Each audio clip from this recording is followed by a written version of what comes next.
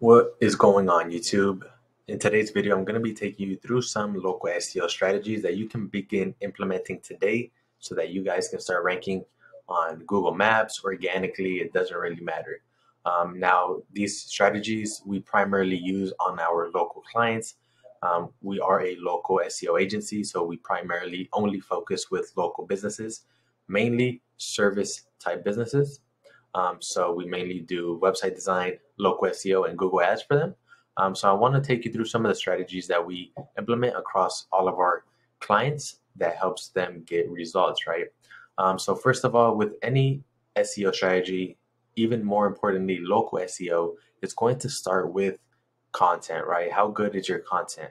You don't just want to have any content. You want to have optimized content that's targeting the proper keywords. So you want to have a mixture of content that's written for a user, but also content that's written for a search engine that's going to crawl it and analyze the keywords that you're actually including within that content. So it's very important that we're using the right keywords to promote our services. For an example, what does that mean? Well, if you're a roofer, such as Integris Roofing out in Houston, shout out to Cody, let's take a look at the blogs. If we take a look at the blogs, we can quickly notice that we're targeting specific keywords within these blog posts. For an example, tile roofing and shingles, commercial roofing company in Houston, best roofing company in Houston, replacing your roof, right? So we I like to have a mixture of local keywords and general keywords. Why is this important? Because we can use these blog posts and we can interlink them to other pages that we want to power up. Um, because you're not all the time going to rank. Let's say you just publish one service page. Let's say you publish a page about roof repair. Well, just by publishing that one page about roof repair doesn't going to mean it's going to rank, especially if you're in a highly competitive area. So you have to create supporting pages and blog posts are a great way to do this. So you can create different blog posts about different topics about roof repair and then you can interlink those blogs to that service page and it's going to help power up that one roof repair page. So what I mean, so let's take a look at this blog post right here, choosing between tile roofing and shingles. If we take a look at this blog post, we can see that we're interlinking to some of our inner pages. And what is the inner page? An inner page is really just a page in your actual website. It's usually going to be a service page. For an example, if I take a look at all these service pages right here, this is what you would consider a inner page. And you want to make sure that you're interlinking to all of these different pages, right? Because each of these pages could rank on their own for their for their separate keyword, right? And uh, we have this right here linking to asphalt shingles, and then we also have this right here linking to tile roofing. So each of these have their own page that we're actually targeting, right? So if we if we click on asphalt shingles, it's going to take us over to the asphalt shingle service page that we have that's targeting asphalt shingle roofing in Houston. So this page could rank on its own. And the reason you want to be doing this is because you don't just want to re rely on, let's say you're a roofer, you don't just want to re rely on targeting uh, roof repair. You don't just want to rely on targeting roof replacement you want to make sure that you are spreading out and trying to capture as many keywords as you can to drive in the most traffic because you don't really know what a user may be searching for. They might be searching for hail roof repair. They might be searching for storm roof repair. So we also want to make sure that we're targeting these different keywords with their own individual page and using your content and specifically blog posts to power those up is extremely important, especially when we're talking about local. So that's the first tip there. Um, the second tip I have for you is obviously how do you find these topics to blog about? Well, if we go into SEMrush, um, and let's do a search here. So we're in the keyword overview tab. Um, for an example, let's do a search for window tinting. So we get all this data right here, right? But we really want to focus on this area right here that says questions. Why is this important? Because these questions are highly focused around our service. So this doesn't really matter whatever you search for. You you know you can do power washing, window tinting, you know plumbing, roofing, whatever industry you're in. Um, you can put a general keyword because that's going to give you the most topics. So make sure this keyword is general. Don't make it local, at least not for this specific um, strategy that I'm going to be showing you. So just go ahead and put a general keyword that you want to target. So for this example, I'm going to use window tinting. Go to the questions section and click view all keywords. Now what this is going to bring up is all of the related questions that SEMrush is finding um, that can bring a lot of traffic and not only that, but can boost up our topical relevancy, right? We want to increase that topical relevancy. We want to make sure that our website is the authority within your local space. And how do you do that? By having good optimized content targeting specific questions that people are searching for. So if we go into here, um, it looks like the first question is how much to tint windows.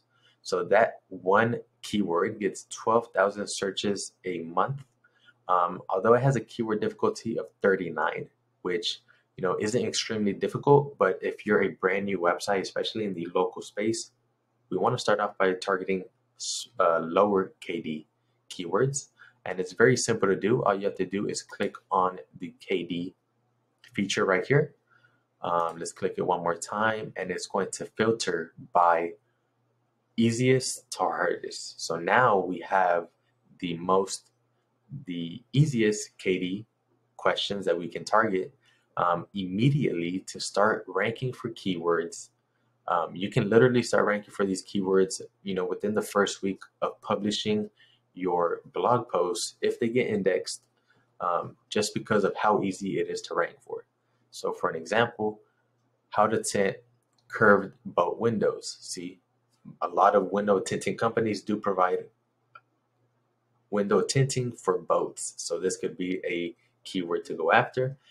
Um, how to tint model car windows. That's another question. How to darken existing window tint. So this keyword right here gets 110 searches a month and it has a keyword difficulty score of four, meaning it's very easy to rank for. Um, so really all you want to do is go through these questions right here and make a note of, you know, I would say at least 20 of these so that you can already plan out your content schedule. And you can just put them into a simple spreadsheet, kind of like um, we have here. Um, you know, it's really basic. All I really care about is the blog topic. I don't really care about the keyword difficulty score. I really don't care about the search volume because none of that is really accurate anyways. I just want to get the main keywords so that we can write a blog post about it and start pumping it out on the website as soon as possible. Um, so, you know, we just make a list here of, of uh, topics that we find through our keyword research to write about, put in the spreadsheet, and start knocking them out on a monthly basis.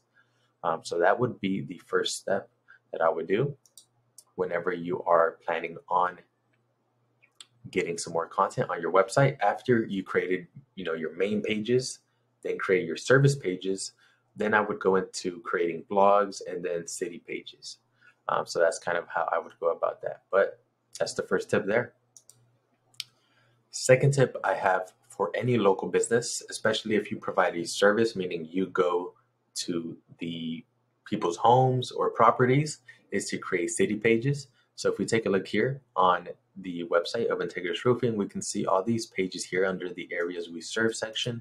All of these different cities have their own individual page. And the reason we want to target these different cities is because it's going to expand our reach and allow us to rank in different cities that our Google My Business is not located in, right? So your Google My Business technically can only go out, you know, so many miles, right? Before Google's like, hold up, you're not actually located in the city, so they're really not going to push you out further than your immediate area unless it's a very low competition area. Um, but whenever you're in these more competitive cities, you want to make sure you're targeting the surrounding areas, the surrounding suburbs with their own page. Um, so for an example, let me show you some of the results we get for um, roof replacement Missouri City, which is a, a, suburb outside of Houston. You can see they're ranking number one right here. Um, Manvel, Texas Roofing Company, another city outside of Houston. You know, they're ranking number one right here. Um, so it's very important that you create these pages and then make sure you optimize them as best as possible. Um, and what does that mean? Well, let me go ahead and show you. So if we take a look at the Manvel page that's ranking number one, um, we pretty much just have this page and obviously you do your your you know your regular on-page optimizations make sure you have your h1 your h2 your h3s make sure all the images have the keyword in the file name make sure you have decent content that's optimized for your services in the city um, really all your basic on-page stuff um, and then just one thing i do like to add is i like to add individual um, resources or signals about that specific city so what does that mean? So we embed the map of that specific city on this page. Um, I add some info here about the city of Manvel, as you can see. Um, some resources, so we external link to resources in that specific area. Um, so like, you know, anything that's important, anything post office, library, you know, any anything of meaning in that specific city um, and then I actually like to add the driving directions and embed the driving directions from that city to your location. Um, and that's really simple to do. So for an example, if I go into here, I just look for Flavors Roofing, go to Maps. Uh, let's click on his listing right here. Click on Directions. Starting point, we're gonna put, you know, let's do the city that, that I'm showing you guys, which is Manvel. And now what you want to do here is you can see it creates the driving directions. Go to the menu, click share or embed map. Then you just grab the embed a map iframe code. Um, and then you can just paste it in there using HTML. Very simple to do. Um, so that's something that I would recommend you guys to do for your city pages. So that's tip number two create city pages and optimize them as best as possible using resources and signals in that specific city. And then before I continue to the next tip, let me just show you real quick some of the you know near me rankings that we have so far. Um, so roofing company near me, you can see they're almost in the top three positions all across the board. Um, same thing with roofing near me, um, which these keywords are highly searched for, specifically in this area. You can see they're almost in the top three um, across the board as well. Um, and ultimately, all of this has led him in the past 60 days. Um, he has received 126 calls just from organic uh, rankings, right? Just from SEO. So all of this together can be very powerful once you're once you're in those top positions, right? So don't neglect all of the tips that I'm telling you guys because it does work. So on to the next tip. So now we move into some of the off-page strategies, the thing that everybody loves to see. I don't know why, but everybody loves to see the off-page strategies. And now this is really where a lot of the magic happens once you have your on-page, once you have your website structure, then we start moving into the off-page uh, strategies, right? And what does this mean? This means building backlinks to your website, to your properties, to your entities. Because why? Because real brands, real websites are getting social signals, they're getting backlinks from other websites on the web. All of these signals together are telling Google that you're a real established business and obviously, the more backlinks, the more social signals you have, the more social proof you're going to have in the eyes of Google, and your rankings are going to go up as well. So some of the off-page strategies that we do is, first of all, we create, you know, the social fortress or social networks, whatever you want to call it. Basically, you're just, these are kind of some of the more um, initial links that we like to build out. Um, and these are kind of like profile backlinks. So we basically create profiles on a bunch of different uh, social media websites. Uh, for an example, about.me, uh, Pinterest, Tumblr, uh, BuzzFeed, Quora, MySpace, Medium, right?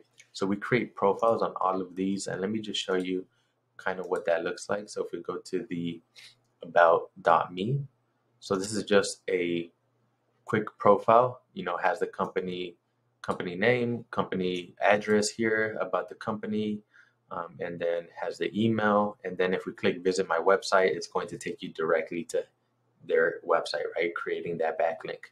And that's basically what we do with all of these profile backlinks um, or social backlinks, whatever you want to call it. They're pretty much the same thing, but we create two waves of those. So this would be the initial wave on month one. Um, then we create another wave of more profile backlinks on, on month two, right? Um, and then at the same time, we also create citations. So obviously everybody knows what citations are. I don't think I have to explain that. Just getting your business name, address, phone number, and website across many different online directories. Um, so we do two waves of business citations. Um, and then normally we do a third wave of local citations and industry specific citations. So we'll look for any citations specific to that industry and any citations specific to the city that they're actually located in. Um, and you can find many different providers to provide uh, the, all these services for you because unless you have someone that helps you out, um, such as I do, you're really not going to have the time to build these out yourself. So some of the uh, services I would recommend is if you just go over to Legiit, um, you can just search for like profile backlinks. I think this guy does a pretty decent job. He'll give you 75 profile backlinks um, for around 12 bucks. Um, you know, if you want, you you can do two waves of those. Um, this guy does social media profiles, so this is another another um, another guy that can do the same service. Twenty eight dollars. He'll do 55 branded social media profiles. Uh, and then this guy, he had pretty good reviews. So he'll do 150 business citations for $75. So one thing that is very important is once they do build out these backlinks, these business citations, you want to make sure that they get indexed. Um, simply because even more recently, not a lot of profile and backlinks in general have been getting indexed. So it's very important that you do as much as you can to get those things indexed because then that's really going to give you the most juice out of them. So you can use a service such as Omega Indexer um, to actually index your links. So if you just go into here, uh, you sign up first of all. Um, I think it's free. I think you just pay for the credits. Um, but if we enter, let's go ahead and enter in our dashboard. Let's go to all campaigns. Um, and then here, I, you can see one of my recent campaigns here. So pretty much you just upload a spreadsheet of all of your backlinks that you have, and then they put it in their system, and then they'll drip feed um, their own, however, however they get the, uh, they just crawl the uh, links that you add on the on the spreadsheet, and then I believe it takes around 14 days, but it does a very good job, at least so far as I can tell. Uh, for an example, if I take this link right here, and let's do a search, see if it indexed, and yes, it indexed right here, as you can tell. Presidential Tents is the name of the company. Um, if we click on that, it should take us to the business. Yep, so here's the profile um, with the backlink right here, right, going to the website. So you do want to make sure that your backlinks get indexed. So I would advise you to use something like Omega Indexer. Very simple to do. Like I said, just have your URLs in a spreadsheet, and then you can literally just copy the URLs and paste them into here, and they will take care of the rest. Um, and it's very inexpensive to do, so I would definitely take advantage of that. So those are some of the tips that I have for you guys. Um, so hopefully you guys learned something new. If you did, leave me a thumbs up. Leave me a comment if you have any questions. See you guys in the next one.